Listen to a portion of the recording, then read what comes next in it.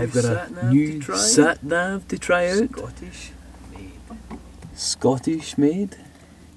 But Rab, uh, I know, we already that's know why it's home. perfect opportunity Uh-huh. to try it. See, you know where it's going.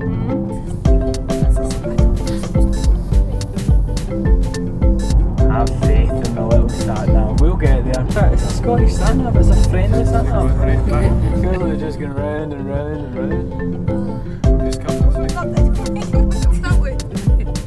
There's, well, there's, Oh, for I don't know. The sat nav's telling me okay, going round. I'm just fourth exit. What was the fourth exit?